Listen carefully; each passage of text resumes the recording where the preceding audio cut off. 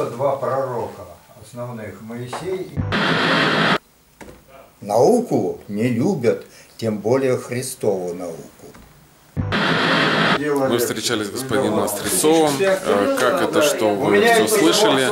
А Наша задача, чтобы вы э, слушали, смотрели, думали, принимали решения. Простая, раз мир создан разумом, Мы ничего не навязываем. значит, законы этого мира и есть закон. Вот всё. Просто как паровоз.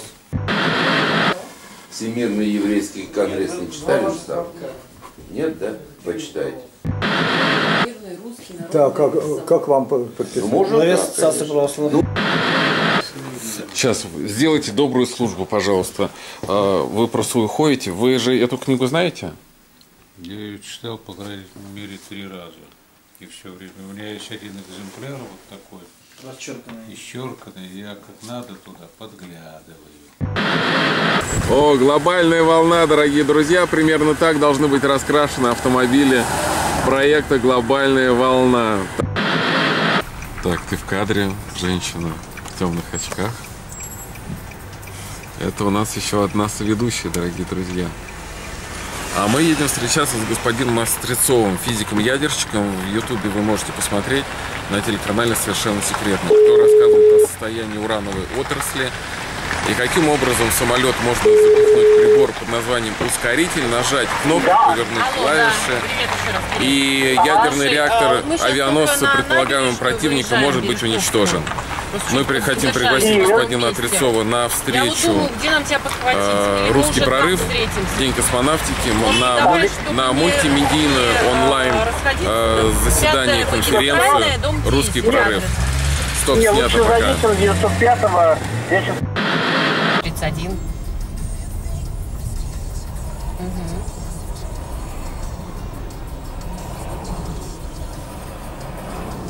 Вот, и мы Да, потом сворачиваем на улицу 905 года и едем по ней.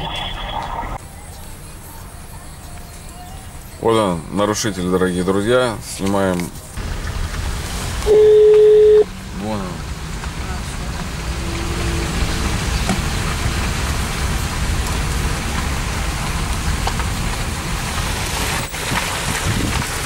Фролов Кирилл, духовный писатель 21 века. Здравствуйте. Здравствуйте, Кирилл. Мы ждали вас. Мы ожидаем вас для того, чтобы взять у вас интервью.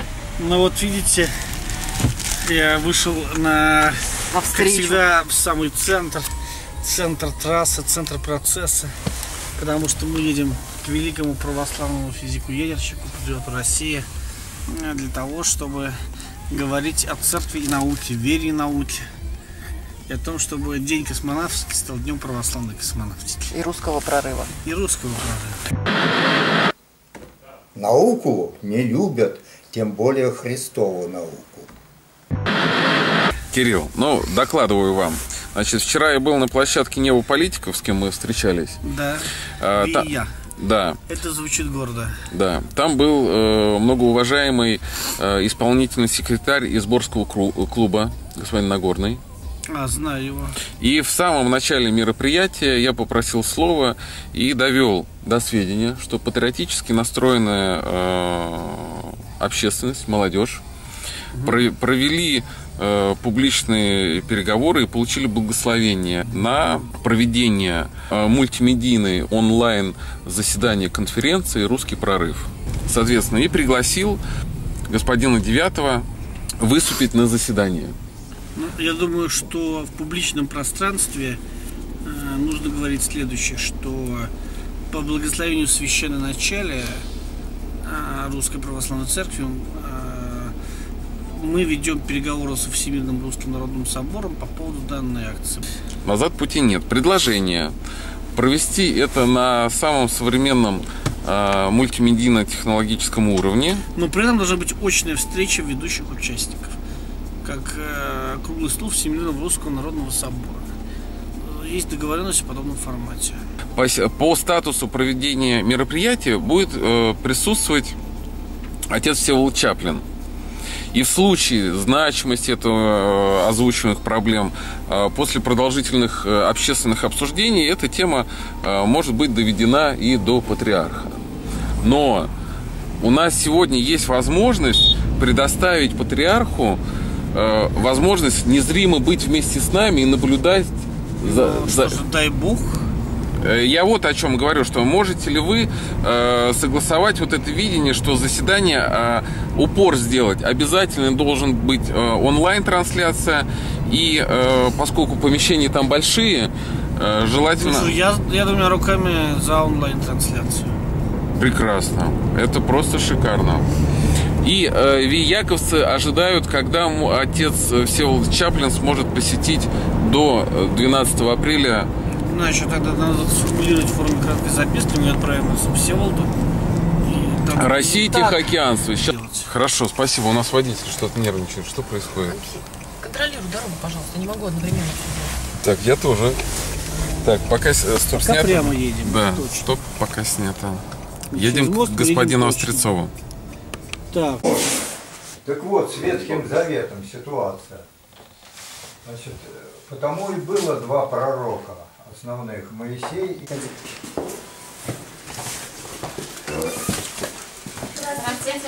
Здравствуйте. Переодевайтесь. И вот мы пришли в Академию геополитики, дорогие друзья. Да. Ведь глобальная волна очень много говорит в своем развитии о геополитике. О геополитике. Это точно. мы видим, что Академия недавно освещена. Ну, я бы не сказал, что недавно. Но видно, что освещена. А вот Игорь Николаевич Острецов. Вот он здесь. Игорь Николаевич, здравствуйте. Меня зовут Ярослав Старухин. Здравствуйте. Я в одном лице и оператор, и режиссер, и модератор, извините меня. Да. Наша ведущая. Присаживаемся. Академик э, геополитики, не только геополитика, но и математика, и физика, все. Вот поэтому мы к вам и пришли. О, Поэтому к вам пришли патриотически настроенные граждане. так, отлично. А, инициатором сближения православия и науки выступила я, А, познакомившись а, с двумя этими прекрасными людьми, а, один, Отлично. который представляет а, один из, ну, наверное, основных активистов, а, выступающих в защиту православных ценностей, Мы не выступаем от имени церкви. Нам никто такого права не давал. Но ведем диалог с священным началем. Написано в соборном и документе. отстаиваем православные ценности. Отлично. Вот. А Ну и, вот теперь не Ярослав, для, не для Не для СМИ. СМИ, да, потому что СМИ просили не вывести. для это нами. протокола. Да, Ну, состоялось... потом будем Ярослав. Выключить? Ну я ты просто Да. скажи, Кирилл, выключить. давай Пока предысторию выключить. расскажу, просто как Да. Пока выключишь, Что вас привело? включишь. Да, и вот, собственно говоря, Да. Дорогие друзья, нам разрешили опять включить камеру. То есть э, 12 апреля, да? да. Ну, предварительно, да. Предварительно, да? Еще осталось определенное количество времени на подготовку, его не так много. Так, а как вы нашли Игоря Николаевича Острецова, если не секрет? Э. Расскажу. Да. Значит, э, да, у нас где-то, где-то в одном из кабинетов в разговорах идет ученый, я слышу, что есть православный физик Острецов, Ага. который работает вот в сфере самых передовых технологий. И я стал думать, для того, чтобы такой диалог состоялся, это еще был до, до встречи у Святейшего, эм, кто в нем должен участвовать. Подожди, ну не. Вот. И я, я, я даже сейчас не могу сказать, где я впервые услышал. Как люди друг о друге, которые пишут книги, они где-то друг, слышат друг о друге. То есть я искал православных, православно ориентированных ученых, э, потому что я давно в этой теме. Потому что основной лозунг всех врагов церкви и Отечества – это развести по разные стороны и противопоставить церковь и науку. Да? Особенно вот эти все либерасты. Да? Они что они Троцкого повторяют и Губельмана Ярославского, что темные, православные, тянут страну назад, там и так далее, и так далее. Одна из наших, конечно, наоборот, православие тянут страну вперед. И именно, к, э, именно как сказал патриарх Кирилл, именно русская церковь создала из Руси. Да нет, но аргументация ведь совсем простая должна быть. И я обычно всех оппонентов затыкаю на первой минуте. Есть обсуждать, собственно, нечего. Можно очень достаточно легко показать, что мир вне разума создан быть не может. Я просто в своей книжке доказал строгую теорию. Ну, раз он создан разумом, значит, э, все законы, которые здесь действуют, в частности, и вся наука, это и есть не что иное, как просто закон Божий. Это, ну, так сказать, вернее, даже вся наука есть закон Божий. То есть в виде притчи Евангелие изложено почему? Просто потому, что народ был неграмотный. Нельзя написать было языком теории множества. Вот и все. А сейчас уже, так сказать, уровень развития стал достаточно высоким, и все это можно изложить абсолютно строго, что я, собственно, в своей книжке и сделал. Никакой тут мистики нет, и любой человек заткнется. То есть наука это и есть, тут даже нечего спорить, един, не един, это за религии. Наука это и есть писал, просто да, наука, это закон Божий. Бога, да. Это, это и есть просто закон Божий. Потому что я говорю, вот если человек не верит закон инерции, ну выпрыгни из машины на скорость 100 км в час, сразу получишь по шее. В социальной сфере, э, так сказать, люди не верят в социальные законы. Там, к сожалению, в силу определенных, определенной специфики социальных законов, по шее получают несколько позже, но обязательно получают. Чем больше валяют дурака, тем сильнее будет наказание. Поэтому задача человечества познать законы того дома, в котором он живет. Все, что в этом мире есть, создано разумом. Как на, эту тему в Евангелии написано. Каждый дом устрояется кем-либо, а устроивший все есть Бог. Это можно строго доказать, это положение. Раз так, вы приходите в чужой дом, дома, вот как у нас демократы действуют, и начинают, видите ли, каждое свое мнение излагать. Да кому твое мнение нужно?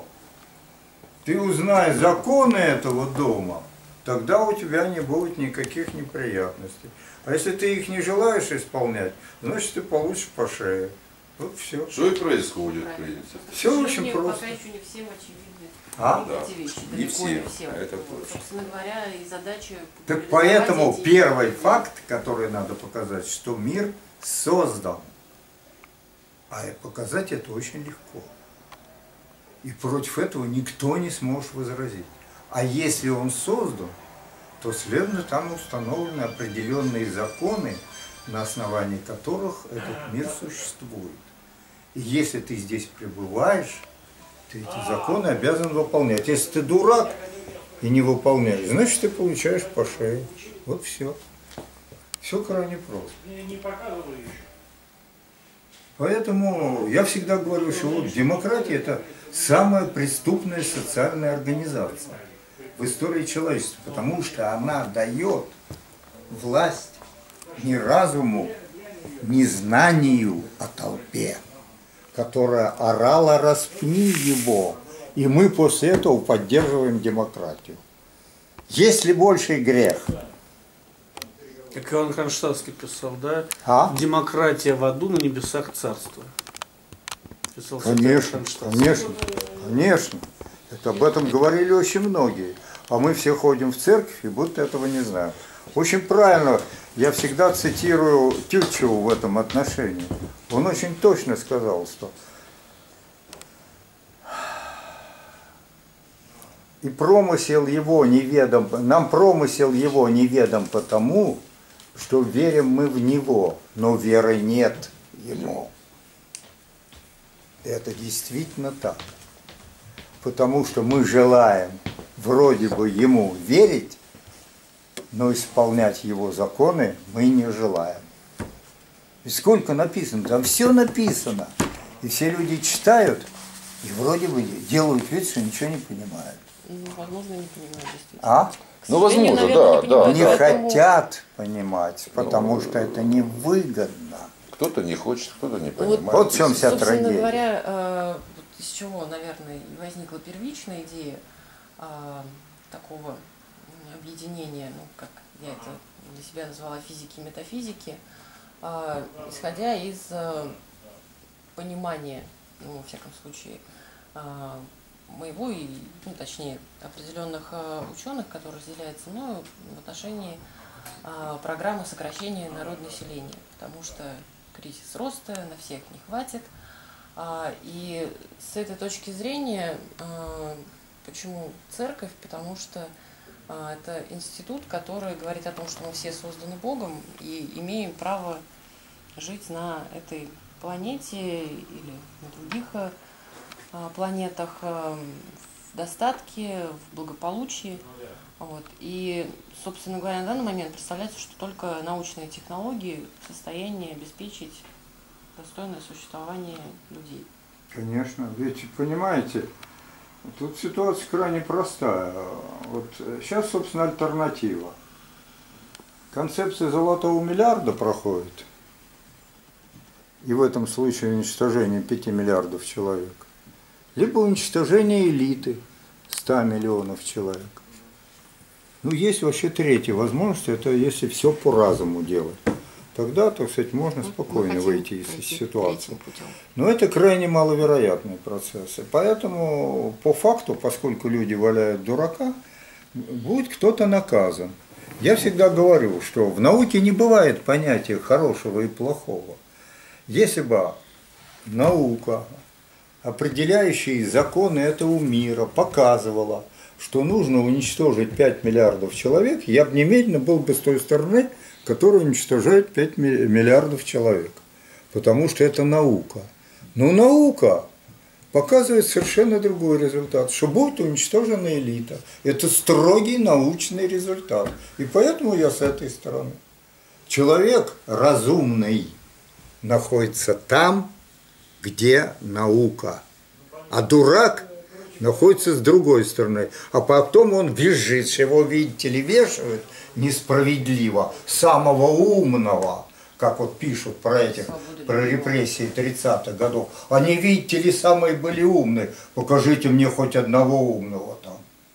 Кроме болванов там никого не было.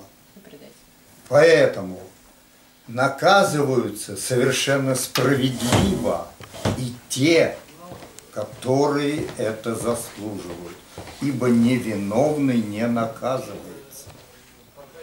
А математически это возможно доказать? Естественно. А можно человеку заполнить какую-то анкету, пройти исследование, и ему математический прогноз, какой вероятность? Затем, есть просто строгие, так сказать, законы этого мира. Вот я пример привел. Скажите, что вот я не верю в то, что если я прыгну там семиэтажного дома и при этом разобьюсь. И прыгните, сразу получите по шее. И доказывать нечего.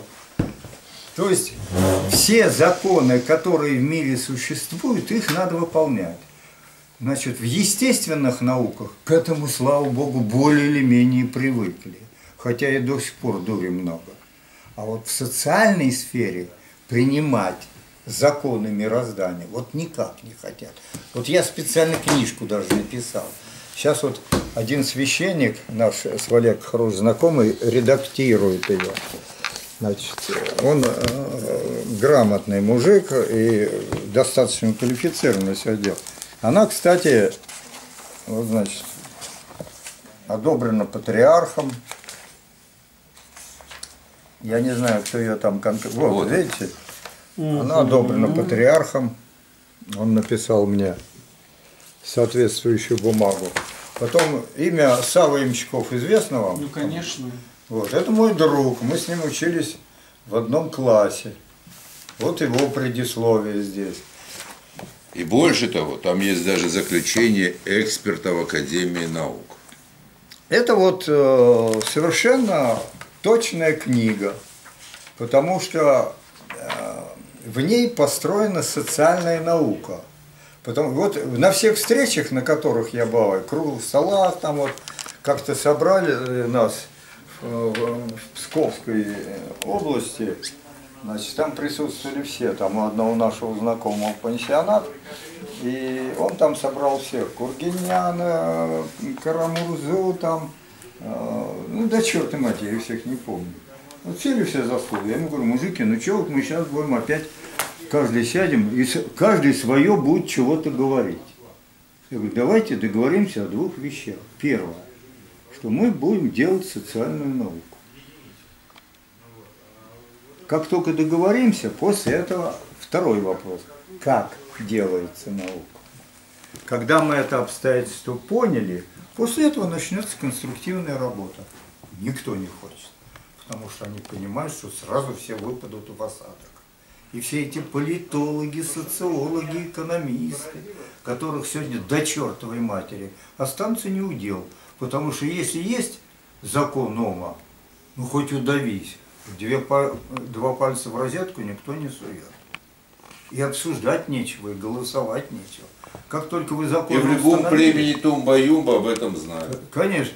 Как только законы установлены, обсуждать и чесать языком больше не о чем. Простое. И дальше надо жить. Поэтому никто не ходит. Потому что сегодня политологов до чертовой матери.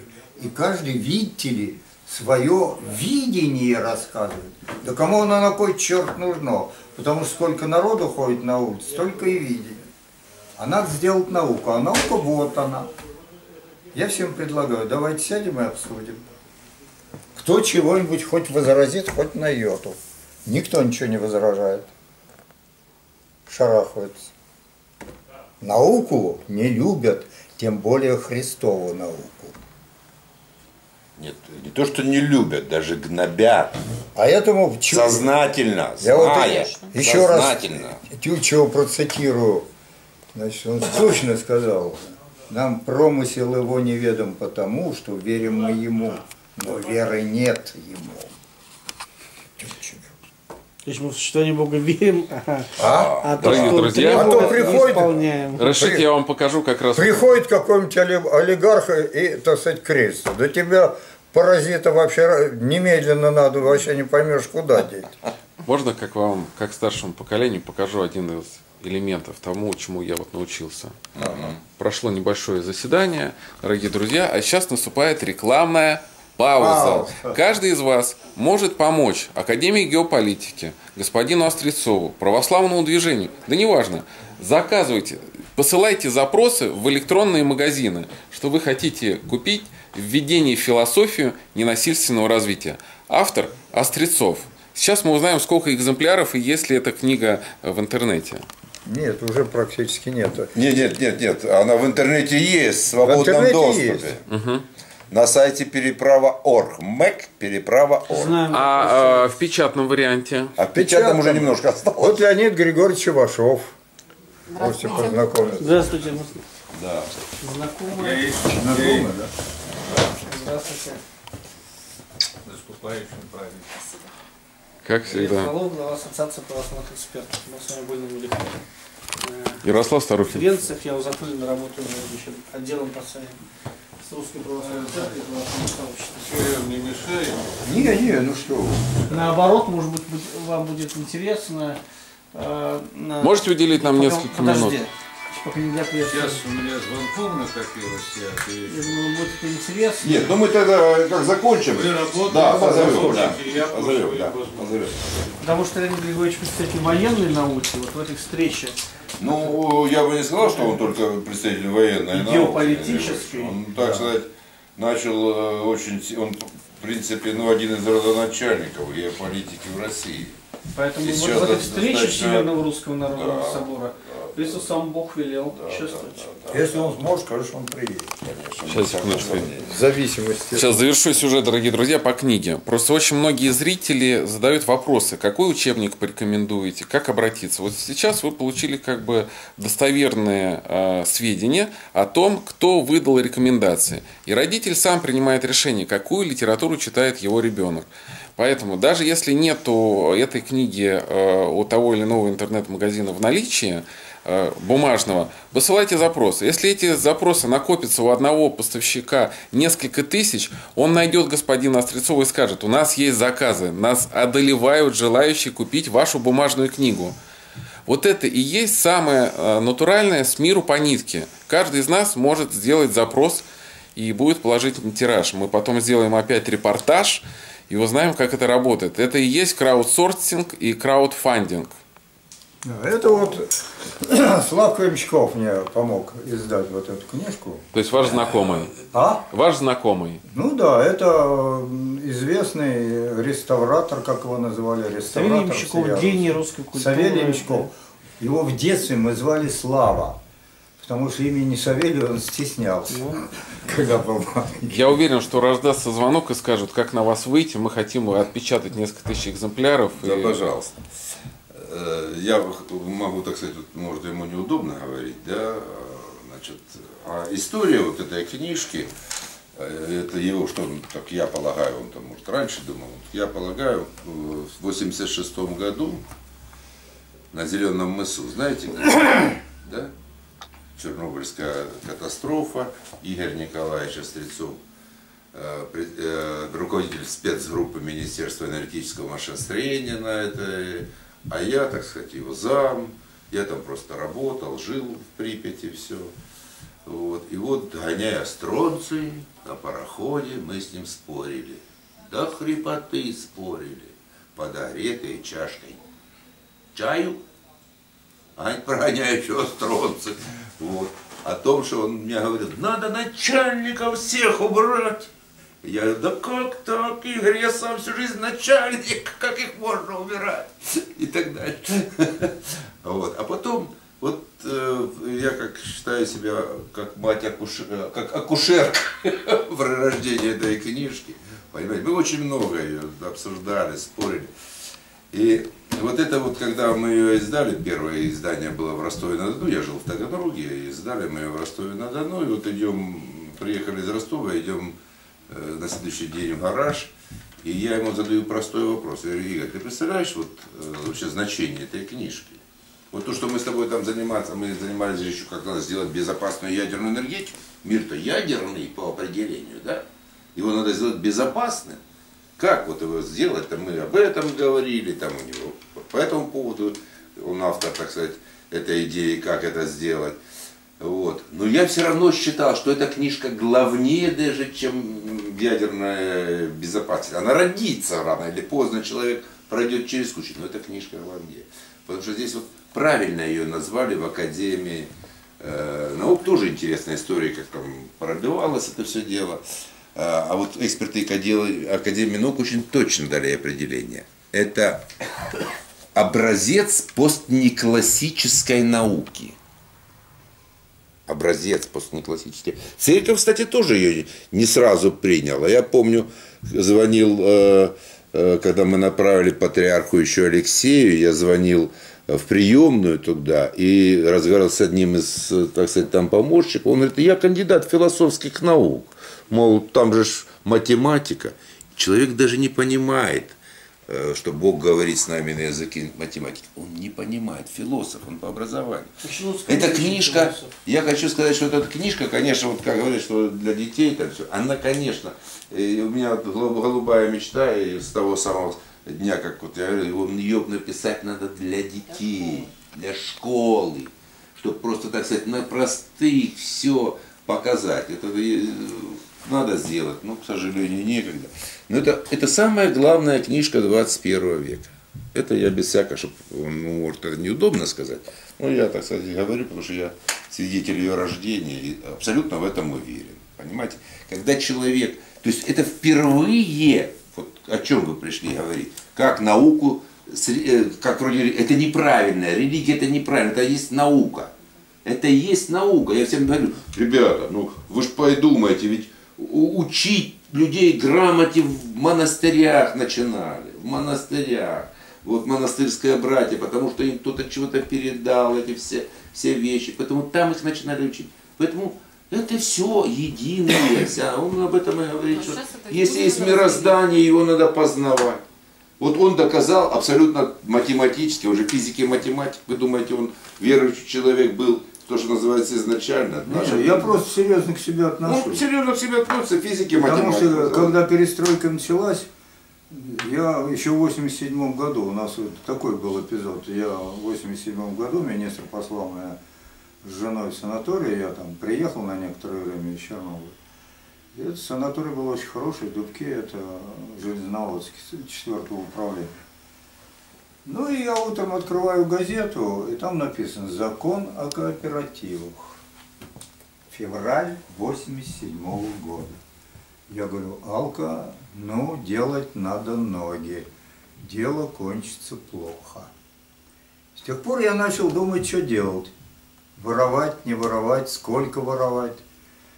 Значит, э, я быстро, значит, стал соображать, обдумывать, как будут идти дела и как будут развиваться.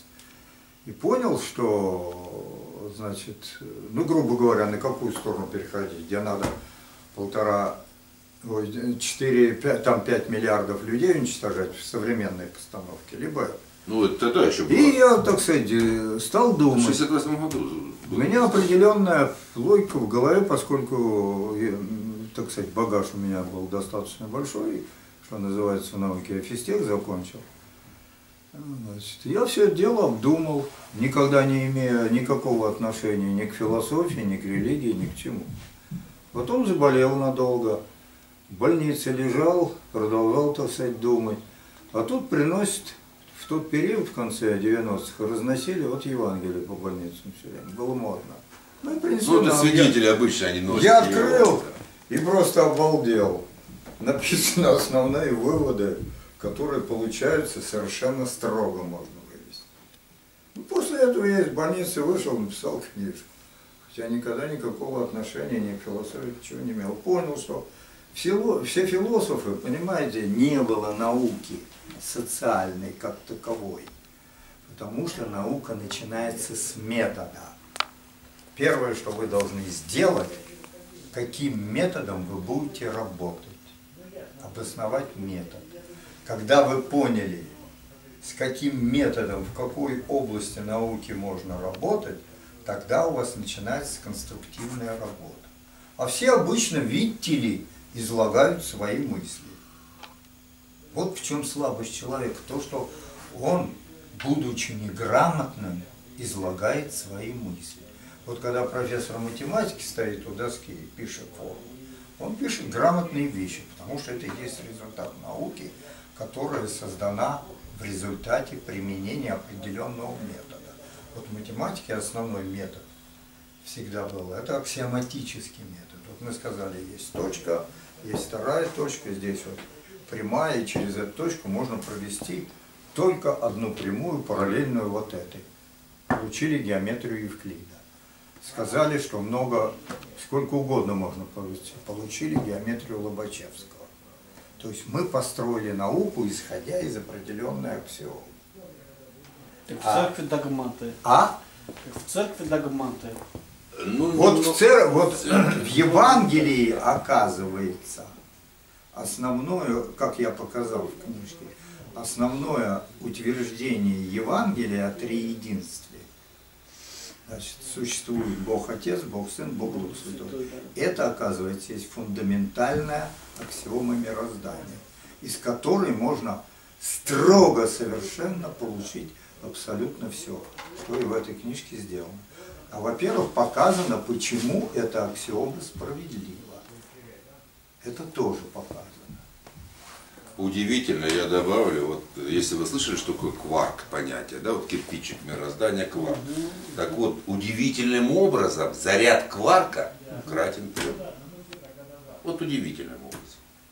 Так нет, ну, собственно, в этом ну, заключается ведь... э, Чудо, да? Антропный принцип известен достаточно давно, и я не знаю, почему не делали из этого вывода. Глубоко этим вопросом занимался еще Гейзенберг. Что известно, что если параметры основные, которые лежат в основе мироздания, хоть чуть-чуть изменить, этого мира не будет. Я задал себе простой вопрос, какова вероятность того, что эти параметры можно как, значит, получить?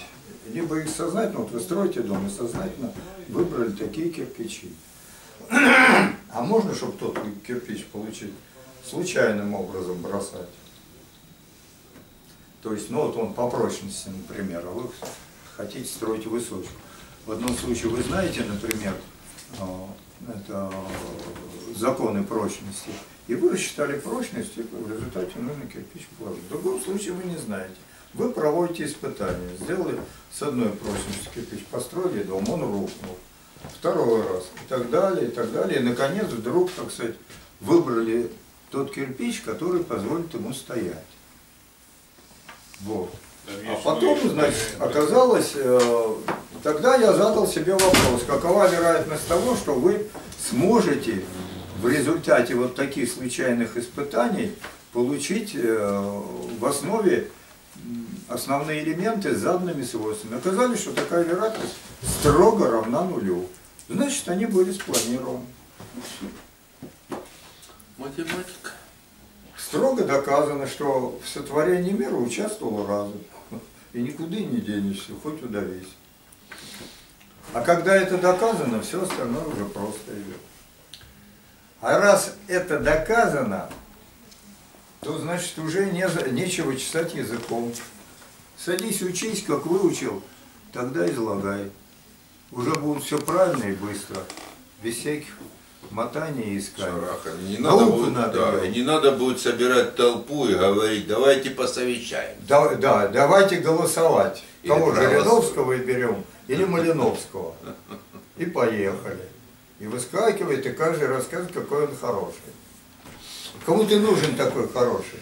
Ты выучи науку и делай свое дело. Поэтому эта идея, конечно, замечательная. Вот то, что вот это самое. Поэтому Надо- всем надо говорить. Вот надо, чтобы церковь это э, уяснила, уже начали появляться люди, что наука это есть закон Божий. Да? Вот это и есть. То есть э, не надо делить науку, вот это религиозная наука, это надо вот- Конечно. это как раз вот первый, разделено. да, это искусство. Понимаете? Это есть, ну, по сути, это есть бизнес был тогда тоже. Ну, потому что в монастырях должны были людей кормить, там они учили, это все. И это все потом, как Нет, обычно, это по, по другой причине было. Понимаете, когда науки еще не было, то церковь выполняла чрезвычайно высокую миссию этом я в условиях, да. Когда действовал еще закон Моисея. То есть история состоит из двух отрезков. Это закон Моисея, и поэтому было два пророка основных. Моисей и Христос. И второй Христос. Христос человек, да. это уже сын человеческий, а сам говорит. Единственное, что родило, это разум. Поэтому Христос это разум. То есть В том числе и разум. Царство Христа начинается с момента, когда человек приобретет разум, когда каждый человек станет подобным сыну человеческому. да. Задача церкви обожить. А задача церкви в период, когда действовал закон человека, и люди были звери, и действовал этот, э, в основном дарвинистский закон отбора естественного, кто сильнее, тот Выживание, да. Мои- Моисеев закон именно это проповедует. И поэтому... Но он Да- скорее сдерживает этот беспредел, который... а церковь Ну, каким-то Христова Да, сдерживала. да. Ее основное назначение было уберечь человека в этих зверских условиях. И она свою роль полностью выполнила за этот период. А вот сейчас у нее наступает уже вторая миссия. Она должна сказать «Я и есть наука». Верно. Да. Вообще разделение цер- церковного и светского, церковного Да не и нужно научного, этого, это, это, искусственное это разделение. искусственное, совершенно верно. Совершенно верно, да. Это искусственное разделение. Это другой вопрос, как люди там, ну, есть вот и, э, он, например, науки, пишет вот в этой книжке, политики. пишет вот в этой Неправильно. книжке, вот обозначая, так сказать, э, вот, ну, Бог, да, обозначает, если строго научно, вот как строго научно, вот взять все мироздание, да, так сказать, высший разум нашего пространственно-временного феномена. То есть вот большой взрыв, и сейчас мы в нем живем. Как Путин сказал, стало 4,5 миллиарда, точно сказал. Вот, ну точно. Вот. вот мы живем, пройдет время, этот мир закончится. И мы должны, вот об этом здесь идет речь, научиться человек за это время поскольку по образу же подобию, как Христос сказал, да, научиться сотворить миры подобные, творить миры подобные. В общем-то, мы этим же занимаемся. Отправляем людей в космос, там, изучаем космос. далее. За- Задача же церковной жизни синергия с Богом. Да? Бог вычеловечился, чтобы человек смог обожиться. То есть заниматься Чтобы творчеством, стал Да, Богом благодати. Да, да. Я Вот и просто разъясню вот этот тезис. Это, так сказать, тезис произносится Теория. в общем виде. А в чем он, вообще говоря, заключается? Что такое феномен Бога Отца? это есть результат развития разума человека за все время его существования. Почему движение мира предопределено? Почему основным свойством этого мира является развитие разума? Потому что в ответе мы знаем ответ. В ответе общечеловеческий разум как раз будет Богом Отцом. Вот что такое Бог Ну, Отец. Бог Отец это Ну, то есть создавать. первое да. лицо Святой Да, Троицы, да, да? А? И важно, что человеческий разум Человече- в диалоге. Я еще раз говорю, Христо-. Христос говорит, да будет все едино, как ты, Боже, во мне, так и я в тебе. Да, единственное. Потому что он есть, разум человека есть фрагмент разума Бога Отца. Да. И более того, Бог Отец это есть результат. Вот на современном уровне развития, грубо говоря, Бог Отец это вот Ленинская библиотека, британский, британский музей, э, Нью-Йоркская библиотека, есть, либо интернет, где носители. Нет, ну, Творение Бога. Вот э, Нет. иногда какой правильный вопрос задают. А как же так, кстати, вот то, что будет в конце э, развития человеческого разума создан Бог Отец, как же Он создал этот мир? Правильный вопрос. Так вот, в рациональной сфере законов причинно-следственных связей нет. И поэтому развитие человечества предопре... человеку, человечеству, вернее, предопределено достичь потенциала Бога Отца. Так это нет, нет, во- вообще Троица. А Троица Троица, это что такое? Задача человека стать Человек, Троица Богом. это чело- человеческий разум, который, задача которого является развитие разума. Бог Отец – это результат этого развития. А Бог Дух Святой – это все иррациональное начало, откуда все происходит и откуда все рождается. Которое как раз и замыкает эту суть, поскольку там нет причинно-следственных связей в силу того, что там просто нет ни времени, ни пространства. Там нет материального мира. Поэтому там все замкнуто. Отсюда вот эта троица. Индиви... То есть э, феномен, который развивается, результат развития этого феномена и всеобъемлющая суть, в которой все происходит. Вот что такое троица. Это не какая-нибудь абстракция, это не картинка на стене. Нет, это личность, э, сотворившая мир. Лично, это не личность, Второе лицо Это- стало человеком, и человечилось. это суть мира, раз- разумная Начало, суть. источник. Бог Отец – это разумная суть мира, потому что мир разумен. И суть этого мира – это и есть Бог Отец, разумная суть мира, И целью воссоединения Бога и человека является искупление да, первородного греха. Ну, это, Ну, это вот уже, это так сказать, фрагмент. развития, так Я правильно. говорю о более Чего, чтобы вещах. все то, что вывихнулось, правильно. Я говорю о более Нет, ну, общих это вещах. процесс развития. А дальше вообще-то Я просто говорю, в силу чего мы хотим того или не хотим, а ответ нам известен, куда мы придем. Вот сколько мы дурака не валяли, мы только за это кровь будем проливать, а все равно придем к предопределенному результату. Кто свободный выбор сделает, кто-то туда придет, а кто-то туда. ну, Нет, это, сам- это само, это уже, мы, же, фра- мы же не верим в... это уже фрагменты. в Нет, я говорю, становления. общечеловеческий разум придет к тому результату. А отсюда следует схема социального развития. Потому что оказывается, что для того, чтобы разум развивался, то есть основным свойством человеческого общества является развитие разума. Не борьба за справедливость, не освобождение трудящих, все это лабуда. Развитие разума есть элемент обожения, да? А развитие разума, нет, развитие разума происходит таким образом. Сначала достаточно трех человек, чтобы родить простую идею. Чем более сложную идею мы рожа- рожаем, тем больший массив разума надо иметь. Вот в книжке тут у меня много примеров приведено на эту тему. Например, так сказать, геометрию способны освоить, освоить там тысячи человек, а квантовую электродинамику миллионы. И кроме того, технологическое развитие. Если Пифагору для того, чтобы открыть законы геометрии, нужен был только песок и прутик, то сегодня, когда мы ищем бозон Хиггса, это огромное содружество государств тратят огромные деньги и огромное количество людей. То есть растет и массив разума, и его технологическое обеспечение.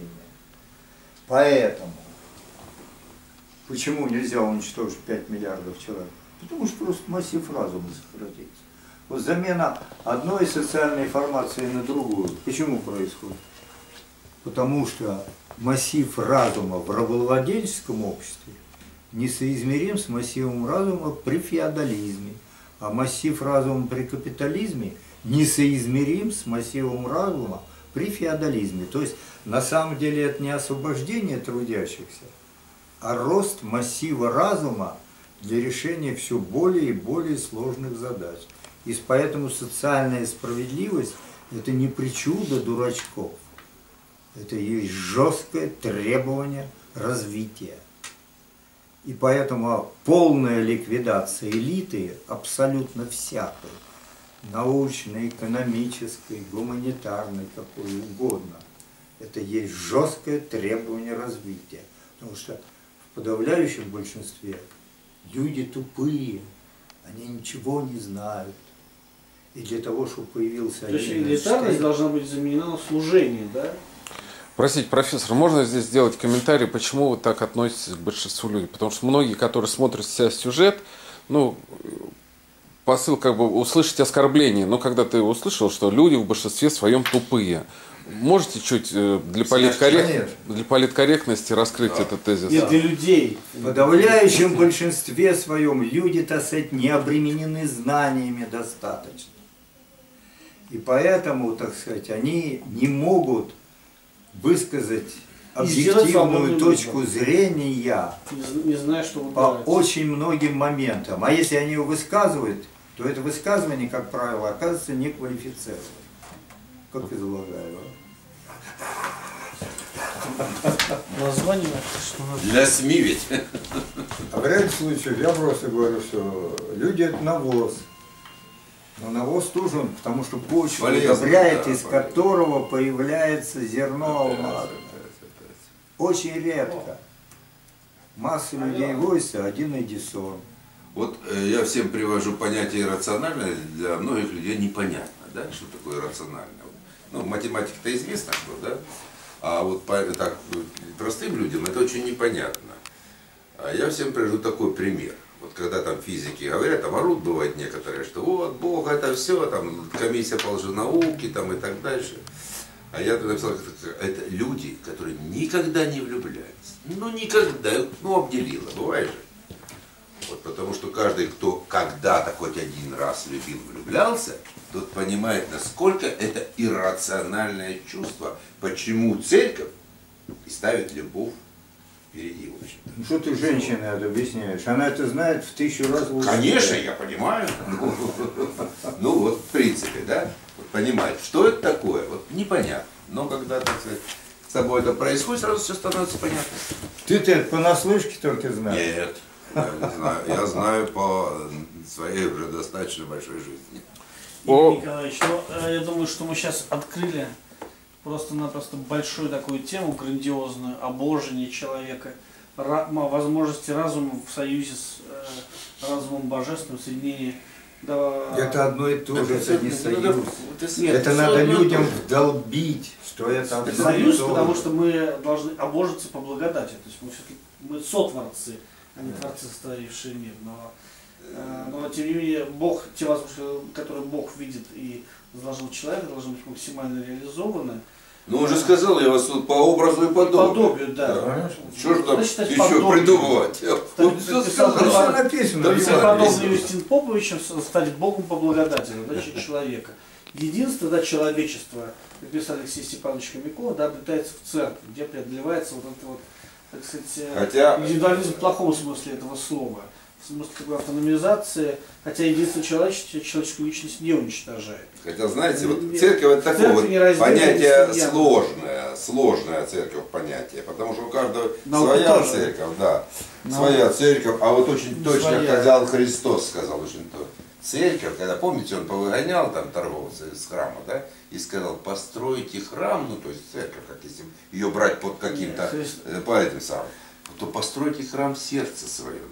И всё. Нет, при этом Христос говорит, что никто не будет есть тело мое, не пить кровь моей, Ну, не это- жизнь это вечную. естественно. А причастие мы обретаем в той церкви, которая основана Ну, Христом. это, это правильно. И это, патриарх, который- учение, да. Да, Если нет, под, патриарх, который церковью имеет иметь, Христа, если по церковью иметь, так сказать, учение, то, Церковь, конечно. церковь не только учение, это богочеловеческий организм, от епископа было из патриархов, это преемники Ну, апостолов. разные были епископы и Это, патриархи это их, лич- нет, их личные грехи, Ну это да. Христос безгрешен, но они преемники апостолов.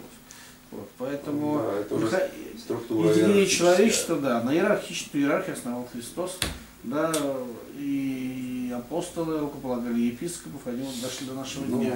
Вот поэтому мы открыли сейчас огромную тему, которую я их хотели бы продолжить на этой исторической встрече. Причем, естественно, со стороны ученой э, за- задача пригласить людей да, разных взглядов э, и не обязательно уже, да, то есть, э, то есть э, но как, которые вообще да, работают над ключевыми глобальными проблемами. Вот. И то, что вы говорите, это э, как бы такое вот э, показывает то, что вы очень э, ваше участие было бы очень важно. Вот здесь вот. Вроде, ну, мы, тогда мы сейчас вторую тему поднимем. Да, вот я сейчас, сейчас я, я хочу, да, вот я сейчас Потому хочу, да, да, да, люди да, да. конкретные. Простые, конкретные, да. Вот И здесь вот я предисловие написал вот к этой книжке, и, и вот э, хочу сказать, вот, э, так сказать, что здесь именно рассматриваются две ключевые, основополагающие проблемы, которые, если человечество решит, дальше все решится автоматически. Первое, это вот энергетическая проблема, Очень потому интересно. что мир начался с этого, да. Вот теория большого взрыва об этом говорит, возникла. И мировоззренческая. Вот мировоззренческая мы сейчас поговорили, а теперь Игорь Николаевич расскажет про энергетическую проблему, над которой мы тоже абсолютно конкретно, реально работаем. Потому что мы же работали в области энергетики в основном. Это вот нас жизнь заставила об этом подумать. И нам, слава Богу, было дано это понять. А в области энергетики мы тоже, так сказать, работали и тоже там кое-чего поняли. Я в двух словах объясню вообще, в какой ситуации мы живем. А, Смотрите, а, мы профессионально говорим о том, что мы можем пере- перейти на новые источники энергии, нам неведомые, которых только читали фантастических рассказах, что мы можем... Это вот э, позиция Ярослава. Ага. Да, дайте Игорю Николаевичу изложить свою позицию. Нет, нет, Сейчас, это вот это позиция людей, которые мечтают о чём- Это хорошо, мечтать. Нет, это позиция людей неграмотных. Я сейчас объясню, почему это так. На самом деле все гораздо проще. Мир проще устроен, надо это Понимаете, вот разговор в этой части мы закончили. Одним из основных выводов, один из основных выводов заключался в том, что человечество приходит к новому уровню понимания основ мироздания и, соответственно, правил жизни в этом мироздании на основании того, что наука как раз наконец осознала, что Евангелие есть основа для, фундаментальная основа для всей науки. Это сегодня осознанно. А это может быть только в том случае, когда основные законы материалистического развития в мироздании нами познаны. Мы сегодня действительно знаем все, что в этом мире можно сделать. То есть, вот мы сегодня знаем, что мир состоит из трех пар кварков, трех пар клептонов и четырех взаимодействий. Ну, в принципе, из одного фундаментального взаимодействия, которое потом дробится на четыре по мере, так сказать, снижения энергии после большого взрыва. То есть мы сегодня о том, как устроен мир, в принципе, знаем все. Кстати, это является причиной того, почему время рынка закончилось. Потому что стахастический поиск, когда рентабелен рынок в области э, вот, технологий, уже завершился. Поэтому искать там нечего, поэтому сегодня должен работать только разум и железный счет. Потому что говорить о том, что стахастический поиск более э, эффективен, э, чем плановый процесс, это может быть только недоразвитые такие вещи. Любой человек в отношении себя все планирует. Завтра пойдет только гуляет. А говорить в отношении общества, что это более рентабельно, это просто недоразвитый. Как вот мы с ним, он был председателем одной из секций на конференции а, по изменению климата, это в третьем году, по В Москве, да. И там этот академик Израиль выступал и говорит, голосование в науке придумали недоразвитые. Я с места говорю. и в жизни тоже, он говорит, точно. И в жизни тоже. Это удел недоразвитых. Разумный человек всегда все считает и планирует. А сейчас условия таковы, что только в этом случае мы сможем выжить. Так вот, собственно, чего Извини, же... я еще добавлю. И вот они, наверное, не знают пример, потому что я в 61 году, когда запустили Гагарина, да, у нас уже был телевизор, там черно-белый был, счастье было неимоверное, интерес был неимоверный, тогда показывали, так сказать, репортаж, как это в Америке отреагировали, все, и привели фрагмент интервью Кеннеди, был тогда президентом Америки, Джон Фиджеральд Кеннеди, которого потом через год убили, или через два, через два года. Так вот, когда у него спрашивали, господин президент, Россия разрушена 15 лет назад, всего прошло 15 лет. Она была раз, разрухе лежала, а сегодня она в космос запустила человек. Как это произошло? И он тогда сказал ключевую фразу, которую я с тех пор помню. Он сказал, понимаете, организованный процесс равно плановой экономики всегда эффективнее неорганизованного. Более того, самый крупный э, социалистический сектор мировой экономики после Советского Союза, это был военно-промышленный комплекс Соединенных Штатов. А. Что об этом говорить? Вот даже смешно обсуждать. Это, даже все планируется. Это просто недоразвитое. Но сейчас я, собственно, не об этом. А дело в том, что если мы знаем, так сказать, основу мироздания, то мы можем знать, то мы знаем, чем мы там опери... можем, так сказать, оперировать. Есть, в принципе, вот четыре типа взаимодействия, на базе которых строятся технологии. Это сильное взаимодействие, гравитационное, слабое. Электромагнитное. И какое? Электромагнитное. Электромагнитное. Ну, электромагнитное, понятно, вот оно в каждой розетке торчит. Гравитационное, понятное, газ там, самолеты, там, спутники летают. Прыгаем. Значит, сильное взаимодействие – это атомная энергетика. Слабое взаимодействие, к сожалению, использовать нельзя, поскольку вот у него такие специфические свойства, что один из переносчиков, это вот нейтрино, оно практически, так сказать, не взаимодействует с веществом. Оно Землю пронизывает без взаимодействия. Поэтому вот все технологии, которые есть, они, это вот три. Сильные, гравитационные, электромагнитные. Они все были открыты в XIX веке. Как в этой книжке написано, 20 век не дал ничего. Все фундаментальные вещи были сделаны более ста лет назад уже. Открыты. А потом был только поиск, развитие неких технологий, а после примерно 50-х годов уже пошли только исключительно сервисные технологии. А что сегодня происходит, это сущий маразм. Это я уже называю интеллектуальным, э, так сказать, э, шламом, отбросами, потому что вот у вас, так же, как у меня, небольшой телефон, меня все время спрашивают, что вы, у тебя такой телефон?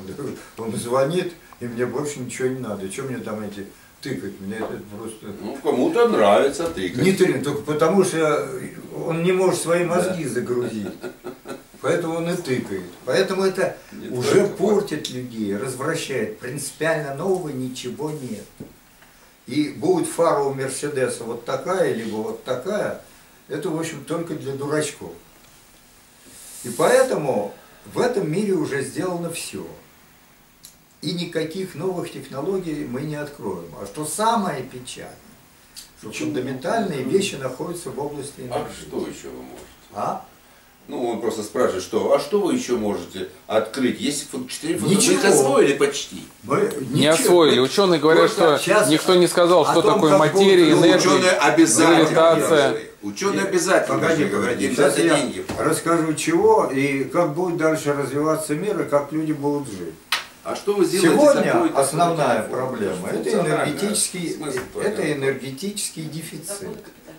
Вот Да, в этом это просто да, рынок, рынок.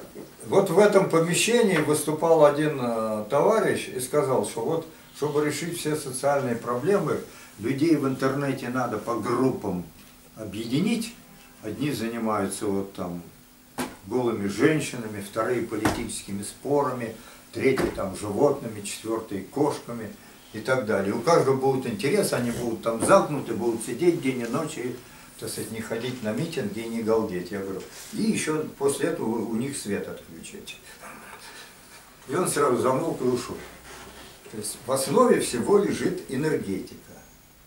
А сегодня в энергетике ситуация такова. Значит, чтобы человек нормально жил, нужно, чтобы на него приходилось примерно 2 киловатта установленной мощности.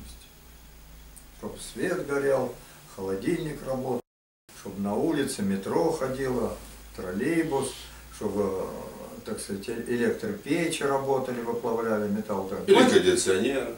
Ну все, значит, 2 киловатта на нос. В мире есть 7 миллиардов человек всего. Перемножаем, получаем 14 тераватт. А есть 2. И забор в 7 раз. Из-за этого все драки. А конкретным выражением является то, что американец потребляет 20 килограмм условного топлива, а китаец одно. Поэтому был киотский протокол до 2013 года. Его пытались сейчас продлить, но галдели, галдели. И говорят, китайцы, Китай очень быстро растет, ему надо сократиться. А китайцы говорят, а какого черта? Вы потребляете 20 тонн, вам не надо сокращаться, а мы только одну тонну и должны сокращаться. А пошли ковбои. И вот если бы не было Советского Союза, вот, смотрел я эту передачу, там Михалков и все, э, имя Россия.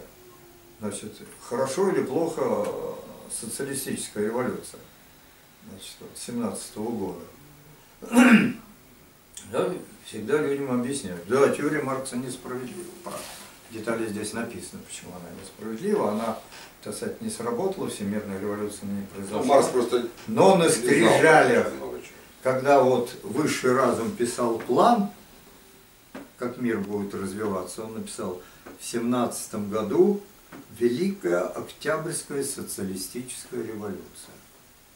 И два самых великих человека, Ленин и Сталин, которые эту революцию совершили и дали выжить Советскому Союзу. Зачем это было сделано? Только по одной причине. Если бы Советского Союза не было, Советский Союз дал подняться третьему миру. После этого он стал не нужен, он развалился. И теперь сценарий золотого миллиарда, который неприемлем для этого мироздания, не может пройти. Вот Знаете, смысл- когда начался этот сценарий? Смысл существования Советского Союза в том, что он дал подняться третьему миру и не дал возможности реализоваться сценарию золотого миллиарда. В этом смысле. Поэтому, когда обсуждают Ленин и Сталин, я всегда, вообще, меня бешенство бесит. Я говорю, ты поступай как ученик третьего класса. Когда я в третьем классе учился, я сначала открывал, смотрел ответ, и в Задача. соответствии с ответом к нему стремился. Про каждого человека можно сколько угодно гадости рассказать. Даже вот вы замечательный человек, но если какого-нибудь вашего недоброжелателя привести, то и про вас расскажет сколько угодно гадости. Можно и плюсы рассказать, и минус. Человека надо оценивать по ответу. Работал он на ответ или нет. Если он на этот ответ работал, значит он великий. И в скрижалях он записан. И то, что будут Ленин и Сталин, было записано в основе мироздания. И свою миссию они выполнили. Поэтому сценарий золотого миллиарда сегодня реализован быть не может. Как вылезать из этого? Ура! Теперь что делать? А? Да, Теперь что вопрос, делать, что да? делать? Я понял. теперь Апокалипсис что делать? пролетел. Что делаем? Open Air. Теперь как вылезать из этого дефицита? Отлично. Себя, да? Как Вним- те- Внимательно слушаем дальше. Теперь как из этого дефицита вылезать? В семь раз. Значит, вот э, мне в Штатах просто говорили, что этому, Китаю, Соединенным Штатам на одной планете мест просто нет. Они просто говорили, когда так сказать, миллиард китайцев сядут в автомобиль, все на этой планете закончится. Действительно так, потому что по нефти, по газу, даже по углю мы пик уже прошли, а дефицит в 7 раз. И при существенном росте все кончится вообще мгновенно. Поэтому единственная надежда Штатов – это всех задавить, развратить и любыми способами сократить численность. Наркотиками, чем Ну, чем угодно, любыми способами. Но, опять же повторяю, это ни хорошо, ни плохо это не проходит. И для этого был Советский Союз, который взрастил Китай, и Китай сегодня э, уже не уничтожен. Даже Иран не уничтожен. Иран давным-давно ядерная держава, поэтому никто туда не стоит. Поэтому, значит, остается атомная энергетика, потому что вся альтернативная энергетика, не- это вот э, ветер, солнце, это все копейки, это проценты. 3-4 процента, не более того. Поэтому остается на первую половину века, вернее до 70-х, 80-х годов примерно, остается только ядерная энергетика. Но какая? Значит, старые технологии, их, собственно, две.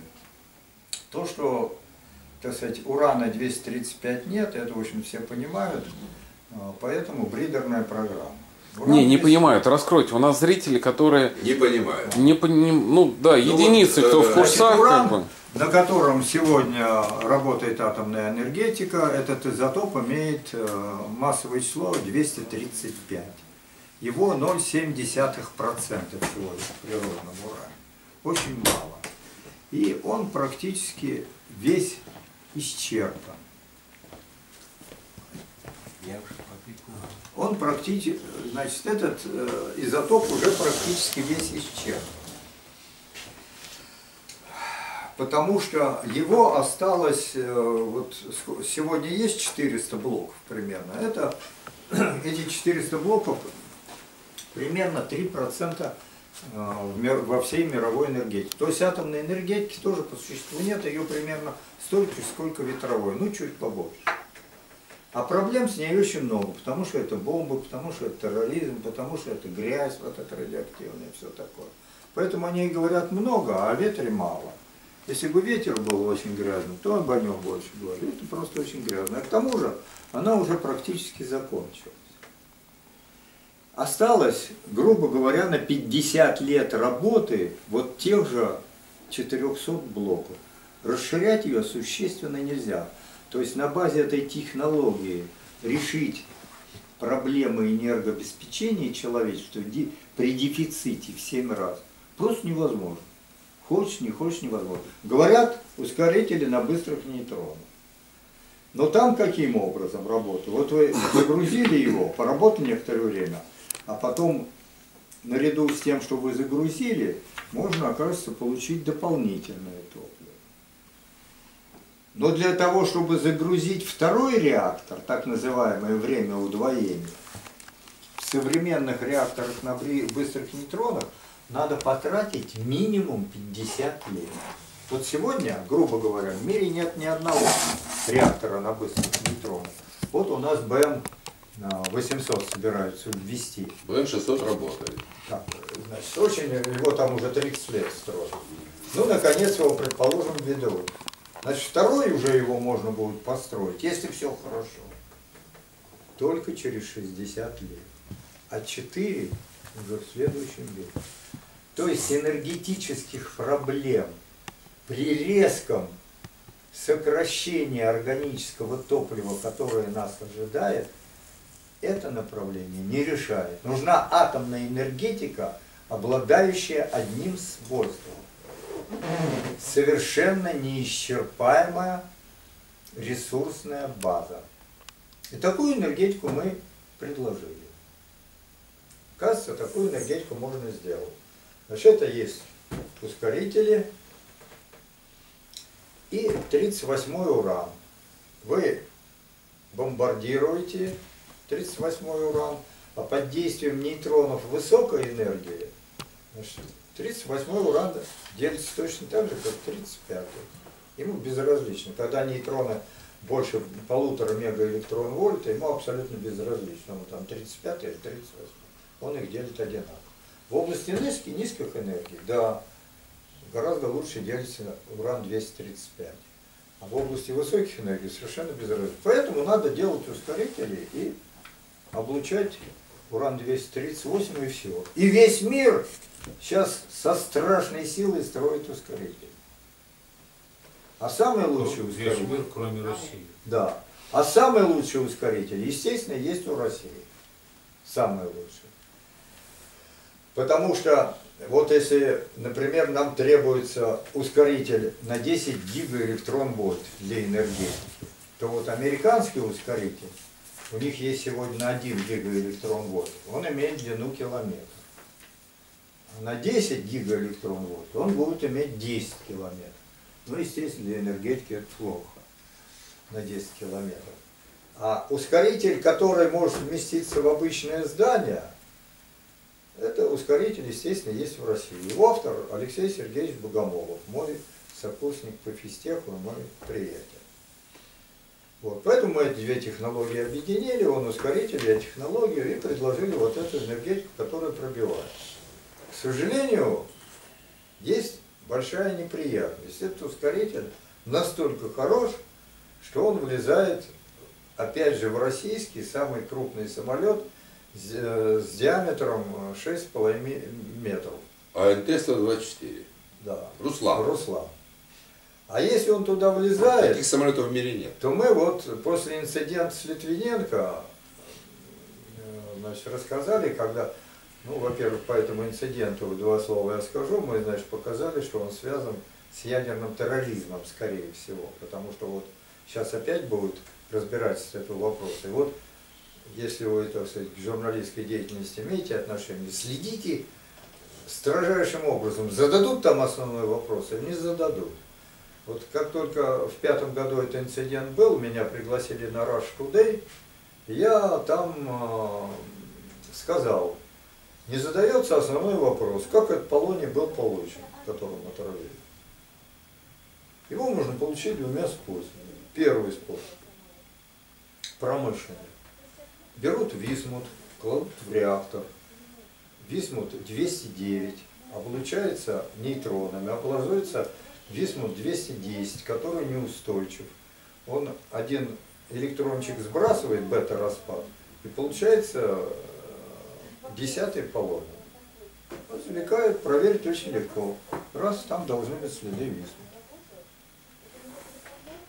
Второй способ, как его получили э, супруги Кюри, за что, так сказать, Мария получила вторую Нобелевскую премию. В горах добывают уран, перерабатывают, получают, э, так сказать, сначала радий, потом висмут, ой, потом из него полоний. Тоже очень легко определить. Там должен быть радий в одну секунду. Вот сейчас будет этот вопрос задан? Нет. То есть он контрабандный или промышленный? Почему этот вопрос не задают? Скорее всего, он контрабандный. А может быть промышленный. Какие А- из этого выводы? А Если если, он промышленный, то прав Березовский. Да. Скорее всего, тогда мы его туда поставили. А может не быть, дай не бог, чтобы он промышленным оказался. Поэтому я во всех интервью говорю, что он, скорее всего, контрабандный Может быть, из контрабанда. Афганистана. Стали платить лучше, чем за опиум, и в результате, пожалуйста. Ну и а Полоний нужен, он служил запалом первых атомных бомб. А уран провести очень легко, он чистый. золотые изде- золотом покрыли его кольца. Металлический уже уран. Сказали, что ядерный терроризм, вот Валерка был в Штатах, там об этом орал, сказал, что ядерный терроризм на подходе. Сдают контракт на тему инспектор. А самый страшный сценарий, который, почему войны не было во второй половине 20 века, это не из-за того, что там танки, самолетки, подлодки делали. Это все глупости никому не нужно. А войны не было потому, что просто есть очень простой сценарий, в крайнем случае, к которому придут. То есть у нас очень будут из Европы давить, мы бомбу 200 мегатонн положим, что предложил Сахаров, в южной части Балтийского моря, шарахнем ее там, и все Европу слоит одномоментно, и никаких проблем. То же самое в Штатах. А Россия в этом отношении уязвима. Да, Толик. И поэтому все боятся именно этого. Россия уязвима? Неуязвимо. А, Россия неуязвима. А Россия, поскольку у нее на берегу практически ничего нет, она неуязвима. Кроме курорта. В, ми- в ми- в этом э, в мироздании все предусмотрено. Россию нельзя трогать. Поэтому она неуязвима. Она Богом избрана. Потому что Россия православна. Ее трогать нельзя. А все остальные уязвимы. Она как модель развития И все боятся именно вот этого сценария. Поэтому нам заказали контракт. Американцы что хотят? Летать вдоль своего побережья и контролировать, войск или не войск такие. Мы эту вещь и сделали. Ну, естественно, мы хотели сделать для всех, потому что если бы эту штуку имели все страны, например, в Персидском заливе, если туда авианосец вошел, сверху его облучили, авианосец взорвался боеголовки взорвутся. И Штаты сразу превратились в обычную региональную державу, которую свой нос сунуть за пределы никуда не могли. И все произошло для них тяжело, но без крови. Это был разумный, бескровный сценарий. От него отказались наши начальнички. Потому что деньги там лежат, а американцы сказали эту разработку только нам. 70 миллионов баксов американцы за это удовольствие заплатили. И разработка ушла к ним. А нам нельзя, потому что если будут иметь все, Штаты ноль с завтрашнего дня. И все. Поэтому переходим ко второму сценарию, более жесткому. Теперь начинается сценарий с применением сахаровского сценария. Сейчас по первому сценарию скажите, пожалуйста, э, в случае наличия 70 миллионов долларов вы технологию можете повторить? Да, Что повторить? Она есть. Технология, Она она существует, мы просто, мы, нет, но мы, э, конечно, у нас целая программа есть ускорителестроения, безусловно, это потом там не только эта технология. Знаете, самые высокие технологии, они за, собой- за собой всегда шлейф несут. Вот всем понятно, что термояда не будет никогда, но им заниматься надо, разделив международ, среди международных э, сообществ риски, да, и потому что рождается параллельно куча других технологий, которые совершенствуют предыдущие, там какие-то приборы, материалы и так дальше. Все рождается в этом. Поэтому и у нас то, что мы предложили э, программу ускорителя строения, там куча технологий. Там, например, вот 60% мужиков болеют простатой, да? 60%, это всем известно. Эффективнейший метод лечения протонно-лучевая терапия. Протончик бьет в точечку, не всю, все тело там вокруг этой клеточки, а именно в ту клеточку, которая нужна. Все нормально. Протонную медицину, да? Да, протонно-лучевая медицина. Ну там много, в общем, Куча там еще да. сценарий. Вот контейнера, то, что она говорит, там, или ядерные материалы, так сказать, все. Ну, сейчас Всё это- протонная лучевая медицина, по-моему, используется в Обнинске, да? Да, а у их несколько, их всего это несколько. частности. Да, Подожди, да, да, это частности. да. Скажите, пожалуйста, а существует ли э, что-то готовое, готовое к реализации, но требует капитала? Потому что есть зрители, есть общество. И сейчас момент, когда может родиться народная корпорация. Да, вот мы эту сейчас корпорацию рожаем. Да, мы сейчас эту корпорацию как раз рожаем. Вот мы начали с чего? Родитель. Да. С чего мы начали? Вот давайте вспомним. Когда мы вот все это изучили, то, что надо, провели научно-исследовательские работы, НИР так называемый, да, И нам теперь осталось проводить опытно-конструкторские работы, то есть экспериментов, там парочку таких ключевых, которые, правда, дорогие очень, да, а дальше, так сказать, технологию внедрять и все остальное, то мы увидели, увидели, что лучше всего, конечно, что, во-первых, это должно быть, как Игорь Николаевич сказал, международная программа, обязательно международная программа должна Пока быть. Леонид Григорьевич не ушел. Да, было пока Леонид Григорьевич не ушел. он просто не слышал. Нет, это Выключить? для съемок, да. Чтобы вчера был. Жалели немного. Сейчас, сделайте добрую службу, пожалуйста. А, Вы просто уходите. Вы же эту книгу знаете? Я ее читал, по крайней мере, три раза. И все время. У меня есть один экземпляр вот такой, Расчерканный. исчерканный, я как надо туда подглядываю. Спасибо большое. Это самая лучшая рекомендация. Пишу Спасибо большое. Работаю, у меня там... много Это была рекламная пауза, да?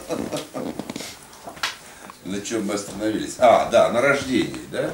На том, что ты родитель. Родитель, да. Так вот, значит, ну, вообще-то Леонид Григорьевич, это его была идея, что нам надо... Дело в том, что мы с Игорем Николаевичем еще и чернобыльцы, да? А я так вообще, так сказать, ну, у меня в этом плане уникальна э, судьба, ну так распорядилась судьба. Это нехороший человек. А вот этот еще хуже. Сейчас я извиняюсь, я Здорово. Шаравин. Вроде офицер считался. Ну вот ну, все. Вот, Какой-то раз- раздруженец какой-то, да?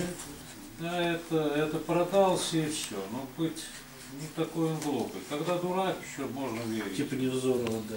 А он Да. дурак. Да. Спасибо. Так, а ж? Да, это вот идет мое интервью, а вот он идет. Вот он такой, ну, Штаты, ну, это бог на земле, это с американцы. Вот.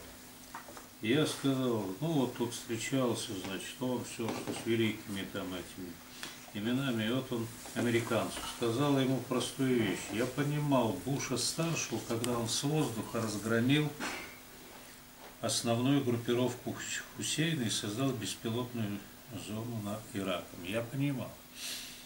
Вот. Но вы же вошли в Ирак, почему вашей операции не было просчитано далее? Я на сто процентов был уверен, что вы ударите по Сирии. Основание? Ну, их вам придумать ничего не стоит. Сказали бы, что туда вывезли оружие поражения- поражения, что Сирия спрятала своих основных военных преступников. Это 91 год. В тот момент Сирия была там абсолютно парализована и так далее. И вот тем же катком надо было пройтись по Сирии. Результат какой? Не было бы Сирии в тылу, не было бы Хизбаллы в Ливане, ваш союзник Израиль контролировал бы ситуацию в регионе. Иран бы оказался полной изоляции и так далее. Вот она сволочь. да. Зарыто все. Все, счастливо. А, да, так на чем? Да, по рождению, так сказать, вот этой вот идеи, э, это очень важно, чтобы вы понимали, почему. Потому что, значит, э, поскольку мы чернобыльцы, и вот я, так сложилась судьба, значит, что я работал э, руководителем одних, одной из монтажных организаций, при строительстве четвертого блока, меня туда Москва кинула, значит, туда, с южноукраинской станции. Вот. И я поставил подпись, строили на четвертый блок, поставил подпись государственного акта сдачи блока в эксплуатацию. Да. И потом вдруг 26 числа один пакетик в руках с документами, да. Трагедия. Жена пошла на рынок, э, там Припяти, э, рынок 800 метров от блока. И вот через 10 лет, так сказать, умерла от рака. Потому что рядом выброс. Вот. Это, конечно, трагедия, но она тогда, вот я вам рассказывал, что мы с Игорем Николаевичем тогда вот думали, как, почему весь процесс-то произошел и почему нужно уничтожать элиту. Я вам сейчас скажу, так сказать, может быть, я- ну я уже неоднократно об этом говорил и сейчас скажу, что у нас точно такая же трагедия, точно такая же, физический принцип такой же, разгон реактора на мгновенных нейтронах было в 1975 году на первом блоке Ленинградской АЭС. Ленинградская АЭС, Сосновом Бору. Только там она локально была, а здесь на весь ряд. Тогда люди, участвующие в расследовании причин аварии, все пришли, написали, так сказать, что конструкция реактора не годится. Так? Тогда, значит, э, какие мероприятия нужно было сделать, чтобы, так сказать, избежать таких послед, таких аварий.